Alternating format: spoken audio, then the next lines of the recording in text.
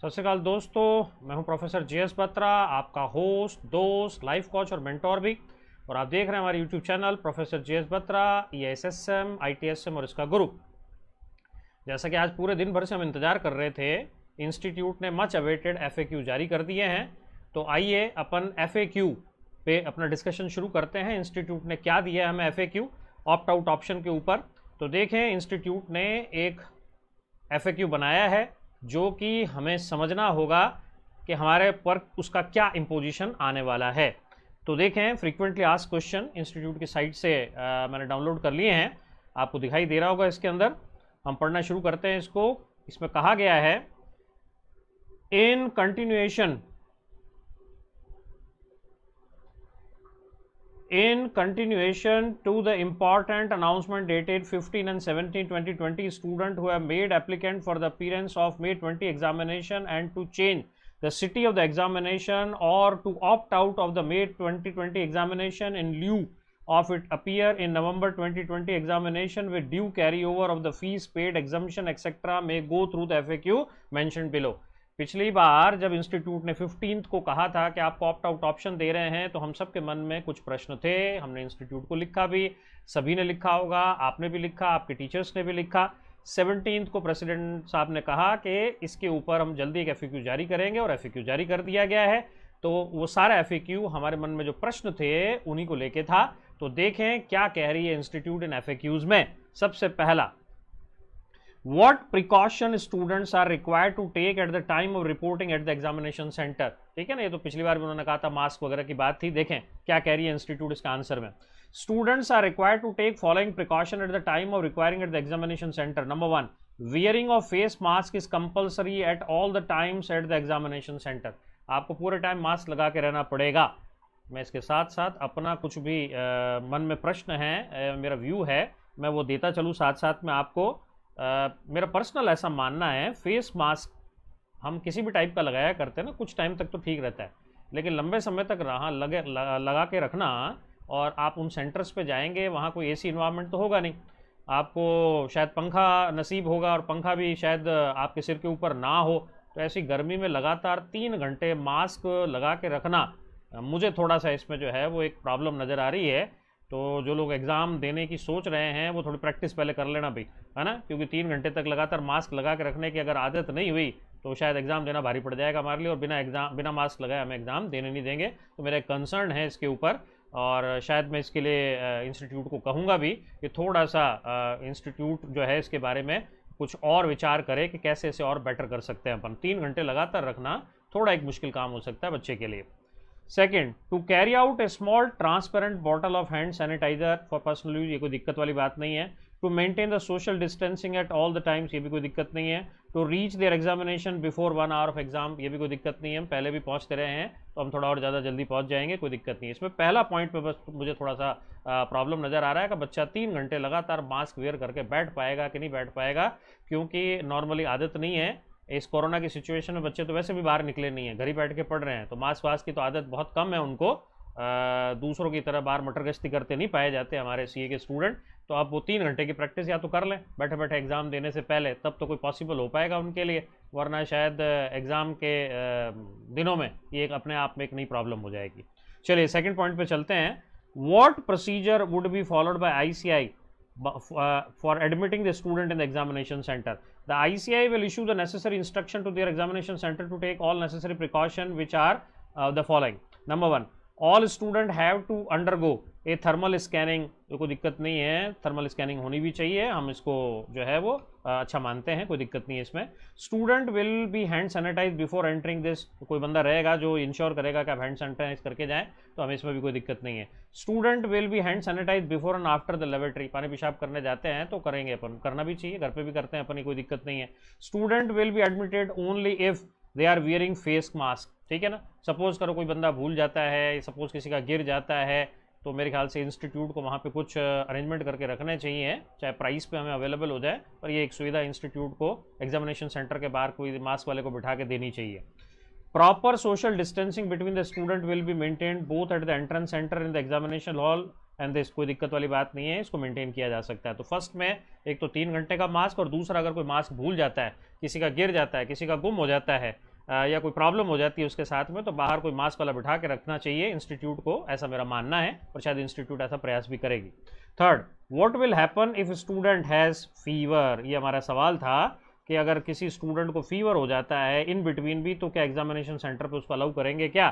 तो देखिए, इंस्टीट्यूट क्या कह रही है इसके लिए? इंस्टीट्यूट कह रही है no such student will not be allowed at the examination centre with fever traced in the thermal scanning अगर कोविड के कारण नहीं हुआ, वैसे ही नॉर्मल हल्का सा बुखार है, तब क्या होगा? फिर उस स्टूडेंट को मना कर देंगे क्या?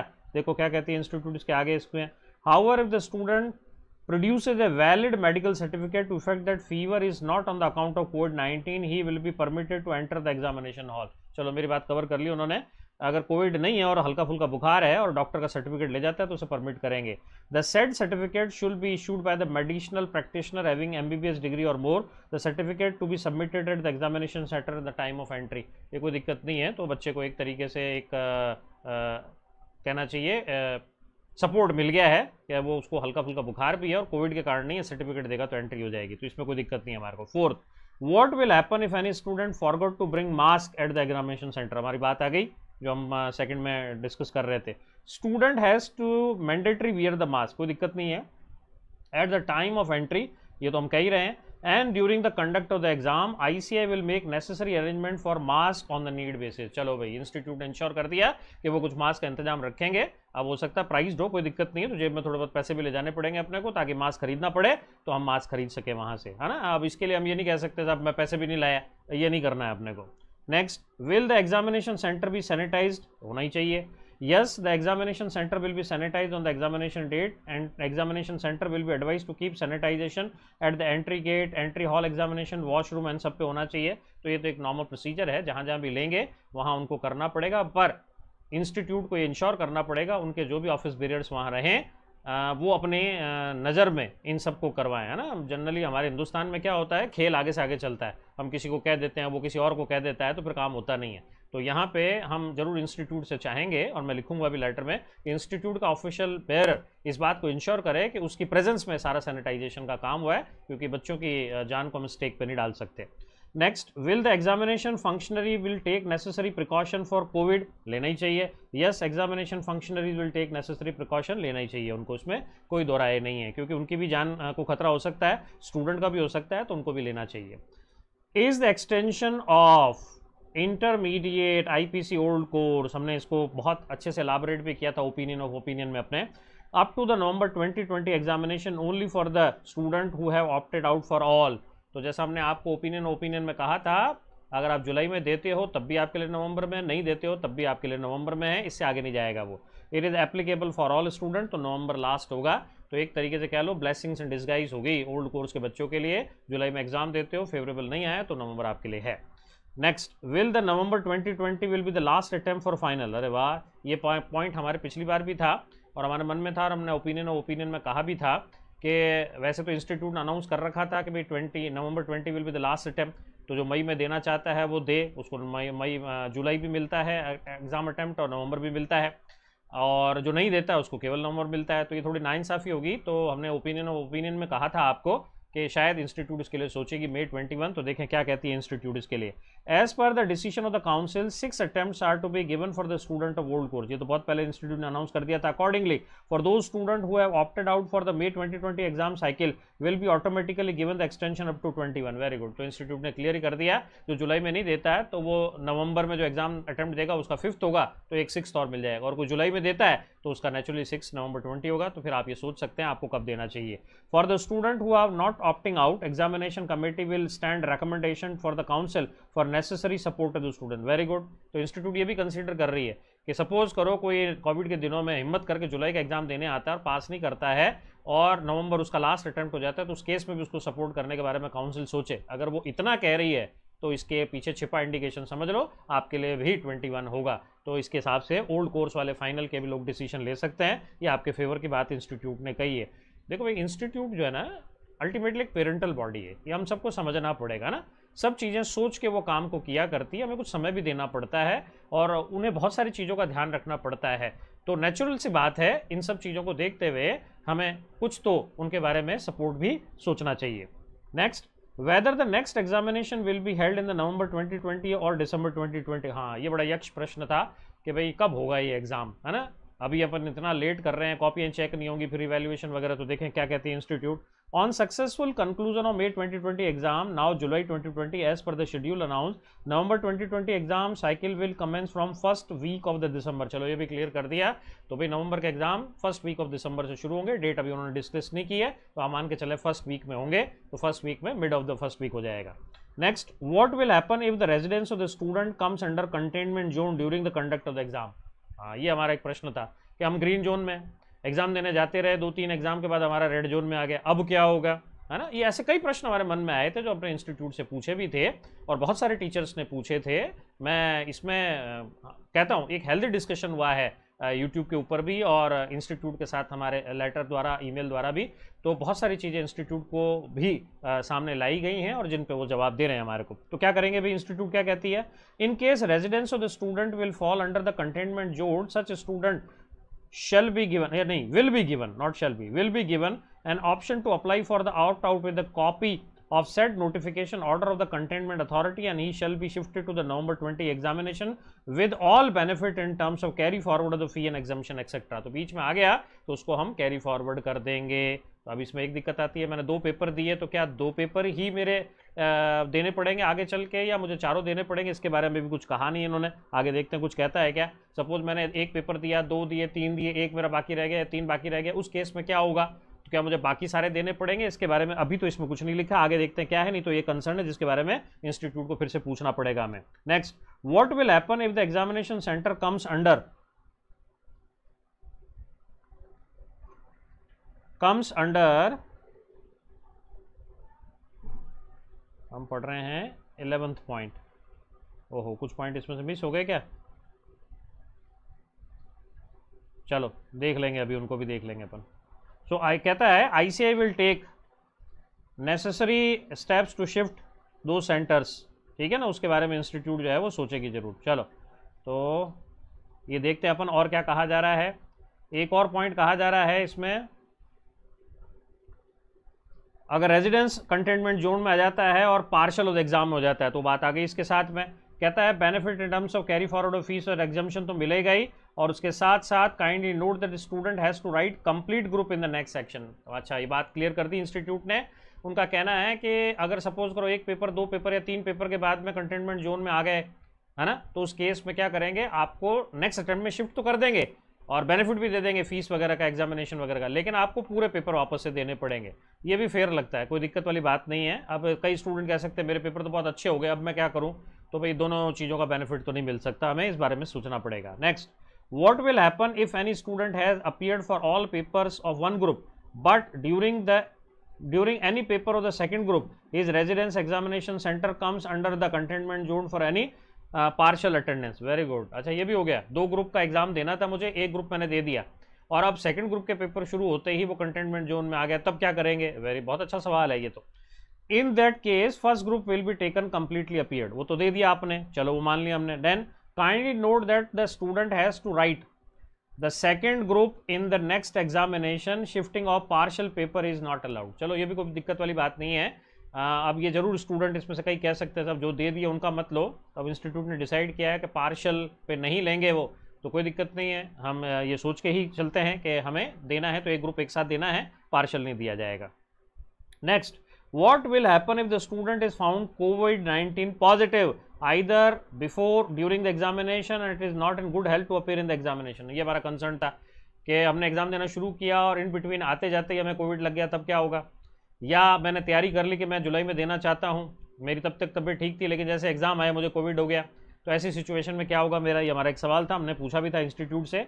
Such student will not be allowed to appear in July 2020 naturally COVID situation में कोई अलाउड नहीं करेगा and will be accommodated by ICAI in the next examination cycle November on submission of the test report ठीक है? अब क्या होगा? मैंने अगर ऑप्ट आउट नहीं किया था तो तो इंस्टीट्यूट नवंबर में मुझे अपने आप भेज रही है। Looking into the health scare due to pandemic and a student finding himself with the indicative symptoms at any point of time such a student may opt for next examination cycle on the submission of a valid medical certificate the said certificate could be issued by medical practitioner तो इसका मतलब ये हो गया कि मैंने suppose करो जुलाई में एग्ज़ाम देने का डिसाइड किया और एग्ज़ाम से जस्ट पहले कोविड हो जाता है मेरे को किसी कि मेरे को या मेरे स्टूडेंट को तो ऐसे केस में वो मेडिकल सर्टिफिकेट दे देगा तो अपने आप इंस्टीट्यूट उसको नेक्स्ट अटैम्प्ट दे देगी ये भी मेरे ख्याल से इंस्टीट्यूट द्वारा बहुत अच्छा सोचा गया है बच्चों को तकलीफ़ नहीं होगी इससे if any student does not choose to opt out now can later opt out from the examination ये बड़ा सवाल आया था आपने कहा था विंडो ही नहीं खुलती है क्या कह रहे हैं will be permitted only in the case residence of such a student falls under the containment zone subsequently or he is not keeping well on the account of covid and other health issues as per the valid medical certificate चलिए ये भी ठीक है institute ने वैसे तो कह दिया था फिफ्टीन के अपने अनाउंसमेंट में कि हम किसी हालत में नहीं देंगे पर यहाँ पे राइडर है कह रहे हैं कि अगर आपका घर कंटेनमेंट जोन में आ गया या आपकी हेल्थ कंडीशन ठीक नहीं हुई तो ऐसे केस में हम आपको यहाँ से आगे ऑप्ट आउट करने का ऑप्शन देंगे मेडिकल सर्टिफिकेट देने के बाद। तो बिल्कुल ठीक है प्रॉब्लम सॉल्व हो गई हमारी। Next if any student opt out now can be later opt to give the examination very good ये सवाल अच्छा है। मैंने अभी तो सोच लिया, मैं नहीं देता, फिर बाद में मुझे लगा मुझे देना है, तब क्या होगा? तो क्या कहते हैं institute such change will not be permitted thereafter तो इसका मतलब ये हो गया कि अपने को जुलाई में अगर एग्ज़ाम देना है तो सोच के चलना पड़ेगा। बाद में ऑप्शन देने का नहीं मिलेगा। आप ऑप्ट आउट का ऑप्शन ले सकते हो बाद में जाके इन सरकमटांसेस में। लेकिन एक बार आपने मना कर दिया, मैं नवंबर में दूँगा तो फिर आपके पास ये परमिशन नहीं है कि आप जुलाई में दे दो। तो ये क्लियर कर दिया उन्होंने। Next if any student chooses opt out now and later institute postpone the exam जुलाई में वैसे भी डिसाइड करना है इन्होंने क्या होना है। Then what will be the remedial action तब स्टूडेंट क्या करे ना? कई बड़ा ह्यू एन क्राई हो रहा था इंस्टीट्यूट की इस बातों को लेके। कई लोग कह रहे थे कि भाई, ये इंस्टीट्यूट हमें तो दो दिन दे रही है और खुद जुलाई तक ले रही है तो इंस्टीट्यूट इसके लिए भी एक बात कह रही है। In such case all the student will be shifted to November 2020 exam cycle with all the benefit in terms of carry forward the fees and examination तो इंस्टीट्यूट अपने आप ही उन्हें आगे ले जाएगी। तो ये पॉइंट भी क्लियर कर दिया उन्होंने। Can a student change is examination city after correction window gets close सत्रह से बीस के बीच में वो खोल रहे हैं और उसके बाद भी क्या ऑप्शन मिलेगा कि हमारे को? नॉट परमिटेड सत्रह से बीस के बीच में करना है, इसके अलावा परमिशन नहीं है। The student decision taken through the correction window from seventeen to twenty will be final no change will be entered thereafter तो इसमें मेरा इंस्टीट्यूट को एक छोटा सा कहना है कि आप इस विंडो को 20 से आगे बढ़ाइए कम से कम तीन चार दिन और दीजिए। पहले तो नोटिफिकेशन ही लेट आया है ये तो इंस्टीट्यूट का को जो है थोड़ा सा समय हमें देना चाहिए तो हम ये ज़रूर रिक्वेस्ट करेंगे उनसे इस पॉइंट के ऊपर point number 19 20 if there is any other document letter which to be up, uploaded when I choose to opt out कुछ और करना है? Only duly filled and signed declaration in the given format जो कि site पे दे रखा है is to be uploaded तो कोई दिक्कत नहीं है तो सब लोगों ने करेक्शन विंडो में देख ही लिया आज. Next what would what should a student do in case he wishes to choose opt out facility but does not have the print facility available at the home or nearby market to print यहाँ एक बड़ी दिक्कत है कि नहीं होगा तो क्या करेंगे पेपर पे तो आ रहा नहीं हमारे पास में such students are advised to submit upload a scanned copy of handwritten declaration duly signed and containing all relevant particular thereof for the format however this option must be exercised only when print facility is not available with the student ये सबके लिए नहीं है, जिनके आसपास ये facility नहीं है, उनके लिए दी जा रही है। तो चलो इसका भी एक तरीका इंस्टीट्यूट ने निकाल लिया। लास्ट वो will water be provided the examination centre during the conduct of the exam है ना? पानी की बॉटल का बड़ा लफड़ा रहता है, लाने नहीं देती इंस्टीट्यूट क्या होगा? Yes but student are advise in their own interest to carry their own water bottle at the examination centre तो इंस्टीट्यूट परमिट करेगी आपकी वाटर बॉटल को आपके साथ ले जाने के लिए। तो देखें 22 पॉइंट में इंस्टीट्यूट ने हमारे सारे ऑलमोस्ट बातों को क्लियर कर दिया है, जो हम उनसे पूछ रहे थे। बस मेरे को पहले पॉइंट में एक तो ये है कि तीन घंटा मास्क पहन के स्टूडेंट बैठ पाएगा क्या? प्रैक्टिस करनी पड़ेगी इसकी। और राजस्थान के इस गर्मी इन्वायरमेंट में, जहाँ हमारे यहाँ 45 50 डिग्री सेल्सियस रहता है टेम्परेचर और ह्यूमिडिटी भी बड़ी रहती है, बारिश का भी सीज़न शुरू हो जाएगा तो एक बड़ी दिक्कत रहेगी। इसके बारे में थोड़ा सा बात हमें सोचना पड़ेगा। तो ये पहले पॉइंट मुझे तो एक दिक्कत दिखी थी जो मैंने आपको बताई इसमें। बाकी इसमें बातें मुझे ठीक लग रही हैं कोई दिक्कत वाले इशू नहीं है। फीवर हो जाता है तो इंस्टीट्यूट टेक केयर कर रही है कैरी फॉरवर्ड का ऑप्शन दे रही है ऑप्ट आउट आपने किया है।